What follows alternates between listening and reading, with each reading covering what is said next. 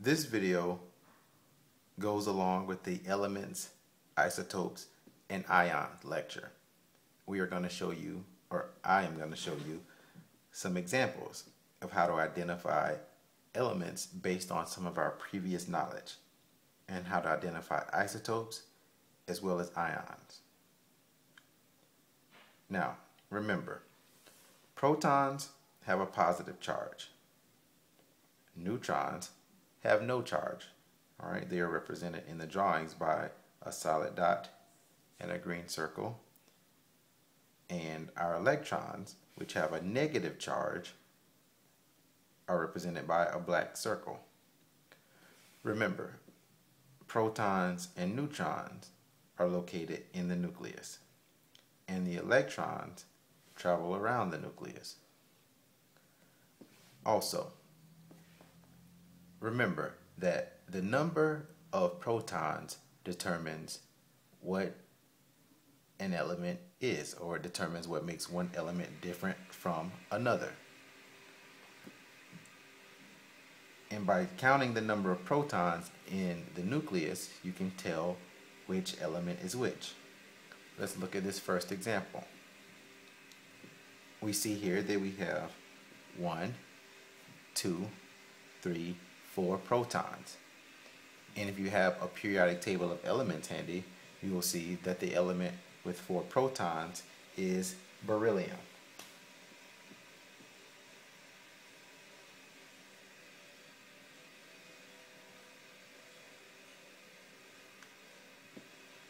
Now, after I show you this example,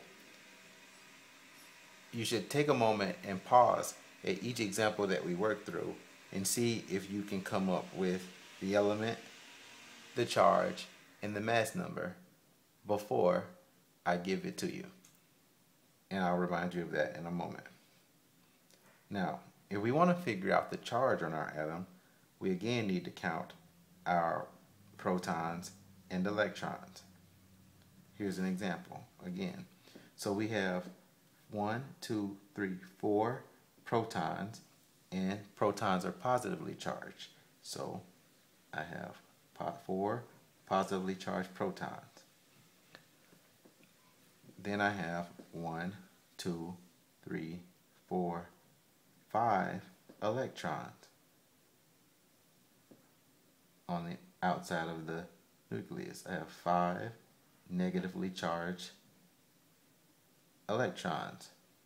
So I have one, I have one more electron than I do protons. And electrons are negatively charged. So I have one more electron than protons, and it has a negative charge. So my charge on this atom is negative 1. This would be a negatively charged ion. Mass number, remember, is equal to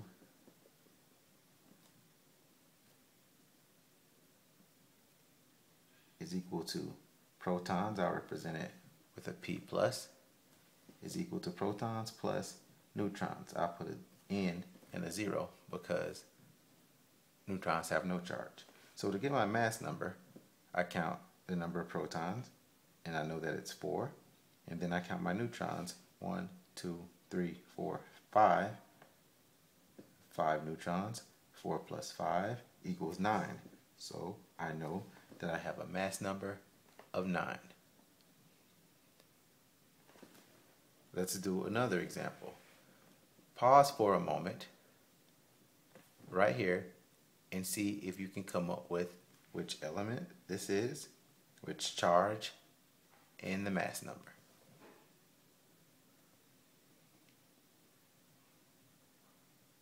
Okay. If you've counted properly, you'll see that you have one, two, three, four, five, six, seven protons. So that means this element has an atomic number of seven. Element number on the seven on the periodic table is nitrogen. To get the charge, I'll count the protons and the electrons. I already know that I have seven positively charged electrons. And if I count our positively charged protons in the nucleus, then I'll count my electrons. I have one, two, three, four, five, six, seven, eight, nine, ten. I have 10 electrons and they are negative. I can see here that I have three more electrons than protons. So I have three more electrons which are negatively charged. So my charge is negative 3. My mass number is equal to the number of protons in the nucleus plus the number of neutrons in the nucleus. I already know that I have 7 protons and then I count 1, 2, 3, 4, 5, 6, 7, 8, 9, 10, 11 neutrons. 7 plus 11 equals 18. So I know that I have a mass number of 18. I could write this element or this atom as nitrogen 18, which could be represented like this or by putting, writing it out like that. Here's another example. Pause for a moment and see if you can get which element this is.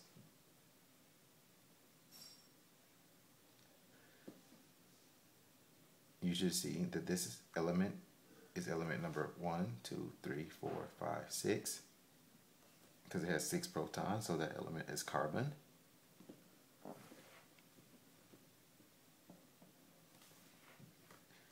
to find out the charge, we count the protons the electrons again. I have six positively charged protons, and then I have one, two, three, four, five, six negatively charged electrons. So six protons and six electrons gives me a zero charge. So this is a neutral atom because it has a zero charge. All right, and then I have one, two, three, four, five, six neutrons in the nucleus to go with my six protons. So 6 plus 6 gives me a mass number of 12. And the exact name of this element would be carbon 12. Now, let's see a few examples of ions or in isotopes. You can see here that we have two atoms. This atom has 14 protons and 12 neutrons. This atom has 14 protons and 8 neutrons. But because they both have the same numbers of protons, they are the same element. But however, they are isotopes because they contain the same numbers of protons. Element number 14 is silicon or sil so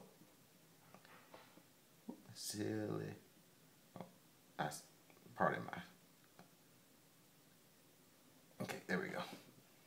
Getting a little ahead of myself. Silicon. That's element number 14 okay? Because they both have eh, I can't. There we go. Sorry. That's better. And because they have same numbers of protons they're isotopes. Now to get the to get the exact name we did the mass, the mass number by counting the number of protons and neutrons in the nucleus. So this would be silicon 26 because 14 plus 12 is 26 and this would be silicon 22 because 14 plus 8 is 22. Pause for a moment here and see if you can get which element this is the charge, the mass number, and the exact name. You will see that this is again, this is carbon because it has six protons. It also has one, two, three, four, five, six. This is very similar to the previous example. It's the same example actually. It's got a neutral charge, mass number 12, and it's carbon 12.